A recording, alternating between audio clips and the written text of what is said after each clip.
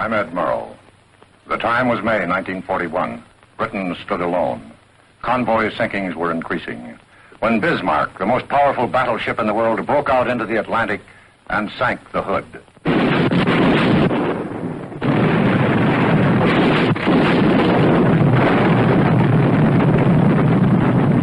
Bismarck had to be sunk if Britain was to survive.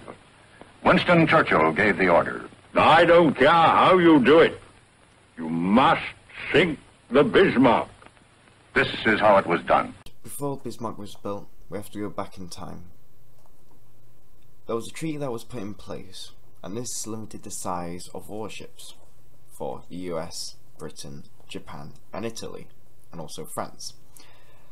This was called the Washington Treaty, and this was designed to limit ships to a certain amount with their guns so that they wouldn't be a massive arms race. But what happened was that one country didn't sign this. Hitler.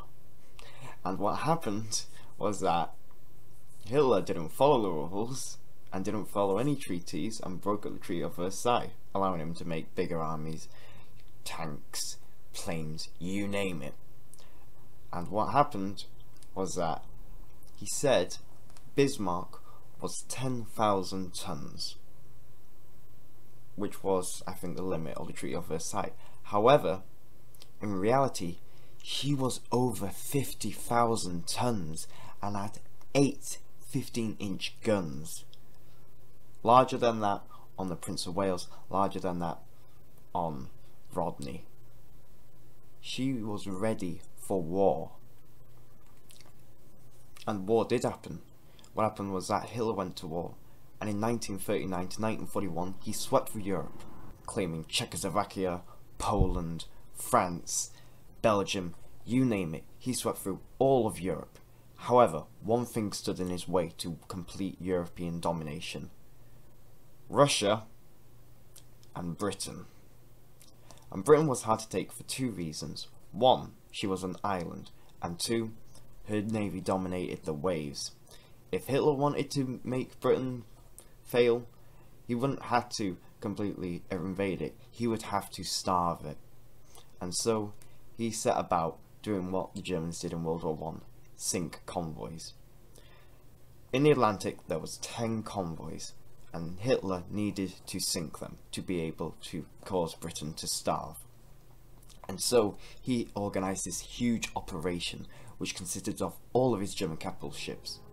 These ships included Bismarck, Scharnhorst, Gneisenau, sorry I can't pronounce it, Prince Eugen, Hipper, Blucher, and soon to be built Tirpitz.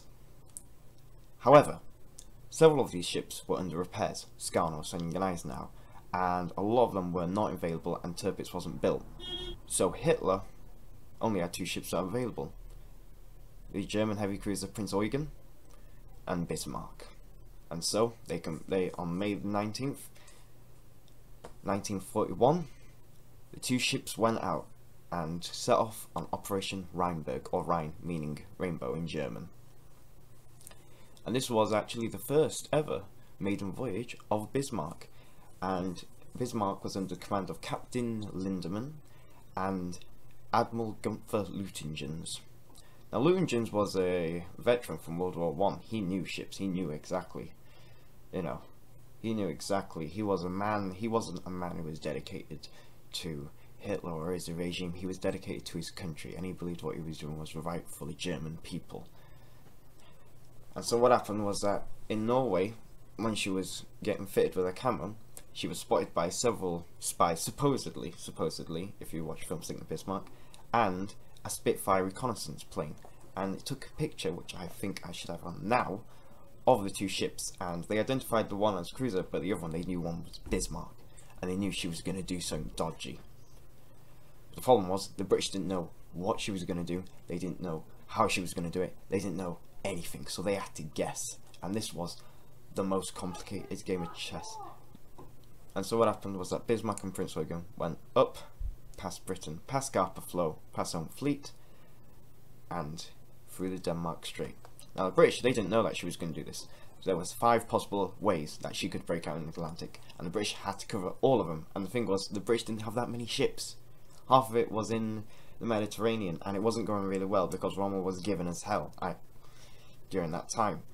And so what happened was that some of them had to be used to sort of support the troops in Africa, and they all couldn't focus in the Atlantic. And the problem was, our British ships weren't that good.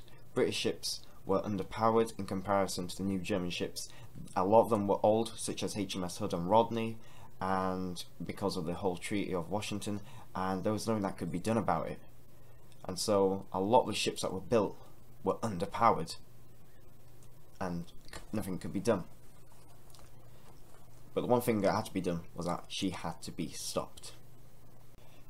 Now Lütjens, he focused on getting the mission accomplished, whereas Lindemann focused on the safety of the ship. Now this you've got to take into mind throughout the entire act, the entire showdown, the entire everything.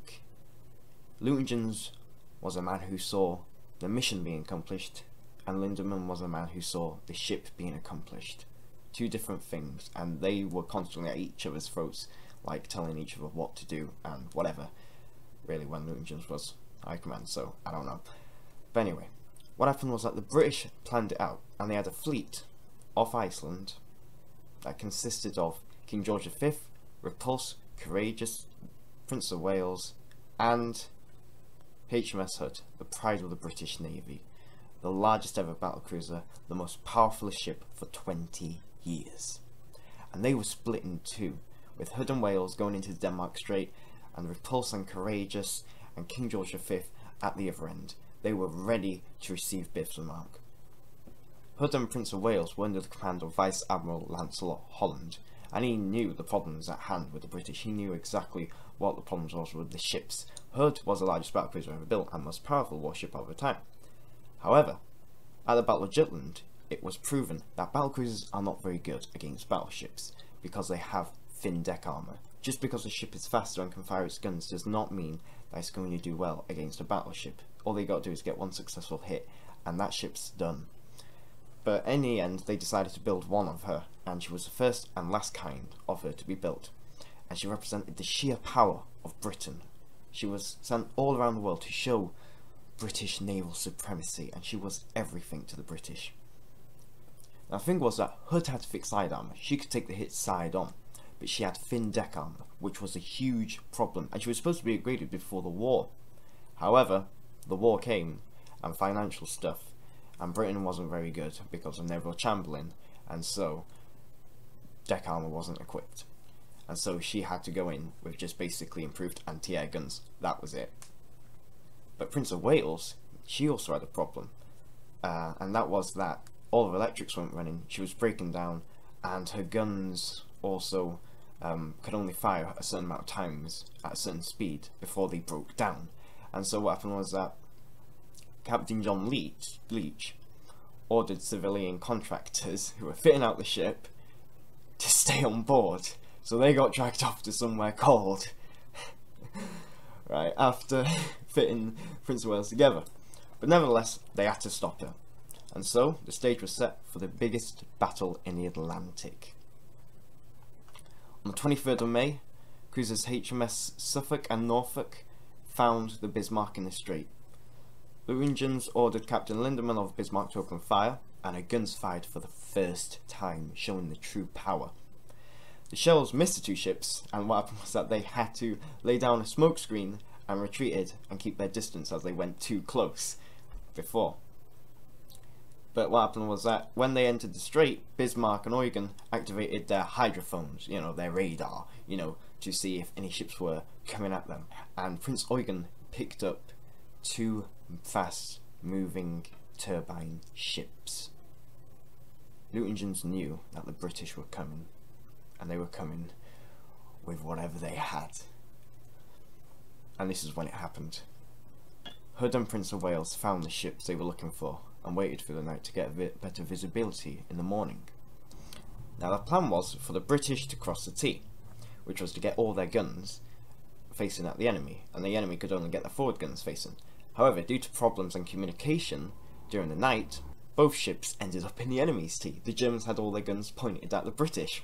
And so what happened was that Holland decided not to wait. Time was right. The spew died down. The fog died down. The visibility was correct. He saw the two German ships. He aimed his guns at them, along with Prince of Wales, and he started to close the range between the two ships. And at 5.52, on the 24th of May, one day after Norfolk and Suffolk found Bismarck, the order was given to open fire. The first shells landed short of the German ships, and Lindemann knew that they that they intended to sink her. However, Lüttichens did nothing, and simply carried on. He knew that if he was to fight, if he were to sink the two cruisers, it would take up time, fuel, and he could risk damaging his ship. But meanwhile, the British realised they were shooting at the wrong ship. They were shooting at the leading ship, and the leading ship was Prince Eugen, not Bismarck. And they only realised, due to the size, that the other one was Bismarck, and Prince of Wales also managed to identify it. But because the ships looked so familiar, the German ships, they were firing at the wrong one the entire time, and so they redirected their fire on Bismarck. And then suddenly, shells came at Bismarck, and they were coming closer and closer, and a distressed and angered Lindemann had had enough. He told Lüttichen, he asked him twice to open whether he could open fire, and Lüttichen said no. So he said these words, I will not let my own ship shot out from under my ass, and he gave the order to fire at 5.55, three minutes after the British started opening fire. And at that point, the wrath of the German megaship was unleashed upon the two British ships.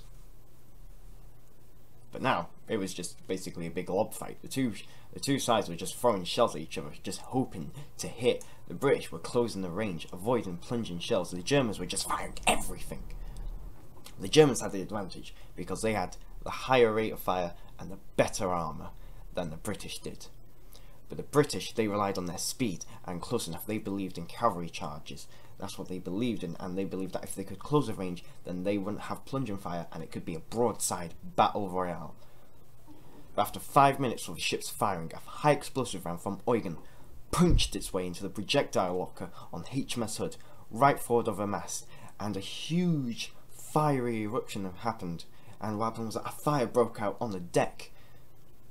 Lancelot knew that she had been hit, but he still pressed on, and what happened was that he made the order, the fateful order, the last order, to turn 20 degrees to port to get all of Hood's guns bearing on the enemy, to get everything of the British on the Germans. And what happened was that Bismarck found the range, and a rapid fire order was given, and on a, on a fifth salvo launch, and a plunging armour piercing shell from Bismarck flew into the air and went straight down and found its mark. It went straight into the bowels of HMS Hood and through the midships and lit her up like a candle, a Roman candle to be exact, and the ship exploded.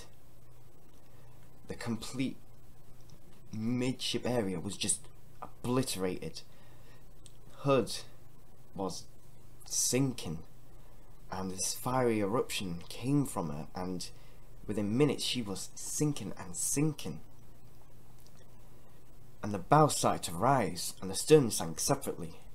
And there wasn't the order to abandon ship, because it didn't have to be given. They knew that the ship was gone. They knew that she was going to sink. That was it.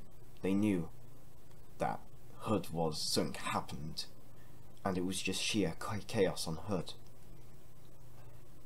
And what happened was that Lancelot Holland and Captain Ralph Kerr of HMS Hood they made no attempt to escape. They knew exactly. They did the best they job they could, and they knew what was going to happen. And what happened was that HMS Hood rose vertically, surrounded by a ring of fireish hell, and started her trip to the bottom. But she wasn't going down without a fight. And her turret gave one last fire before she slipped beneath the waves at 6.01. But the battle was far from over. Captain Leach saw the sinking Hood before his eyes and made a turn to close the range. As Prince of Wales was firing the turrets, they started breaking down. And what happened was that one by one, they couldn't function. And Leach knew that if all of his turrets broke down, he couldn't fight, And he had a larger problem now. The guns of the German ships were pointing at his ship. Eugen and Bismarck, they threw everything at the Prince of Wales, and she was taking hits everywhere. There was eight confirmed hits on her. Some not detonating, some hitting below the waterline. She was just getting ripped apart. But Wales still engaged Bismarck, and she managed to score two or three hits. Everybody argues about who shot who. Some people say like HMS Hood shot Bismarck. I, I honestly don't know. I don't know. Alright, I wasn't there. We don't know. We're not gonna know. All the credits. But they finally got the range on her. And all they had to do was just simply a shell from Bismarck ripped straight through the bridge and killed several men on board. But Captain Leach was still alive. Bloodied and battered, he realised that he wasn't going to win, and all of his turrets were out of action. So at 6.05, Prince of Wales laid down a smokescreen to escape the German ships. Lindemann wanted to chase down the injured Prince of Wales and Sinker, but Lutingen said no, wanting to see the operation succeed, and they moved on. After two hours of HMS Hood sinking, HMS Electra finally arrived on the scene and was ready to receive tons of men, tons of injured, dying men. But to their shock, only three men out of 1,419 made it. They were Ted Briggs, Robert Tilburn, and William John Dundas. The Prince of Wales followed the Bismarck with the cruisers Norfolk and Suffolk, but after the guns broke, she pulled off, and there was nothing more she could do. Lindemann was happy. His ship was able to hold off the enemy, and the mission could be a success, but she had damage done to her. Her fuel was being contaminated by seawater. She couldn't go into the Atlantic. She would risk running out of fuel, and then the ship would be useless. Now Lindemann, he wanted to go back to Norway. He thought, it's far too dangerous, there's going to be more ships, go back the way we came. Lutingens said, no, no, no, no, no, I'm in command. We're going to Brest, baby. And he didn't use those words exactly. And that was in occupied France. If he got to Brest, he would have the whole Atlantic at his disposal, and he could go out with Scharnhorst and Gneisai and Prince Eugen once she finished raiding convoys. However, Lutingens knew it was wrong to sink Hood. Hood was the pride of the British Navy, the symbol of Britain, of power, and he knew that the British would not let this go unpunished. And he was right. Churchill called the Fleet Command and told them that he doesn't care how they do it, he doesn't care who is risked in the matter, he told them that everything is at stake. The Navy had to sink Bismarck. And not just for Britain's sake, but for HMS Hood's sake. Join me next time how the British got back over Hood, and how planes dominated the Bismarck and how, at the end of the day, the guns fell silent and the Bismarck was sunk.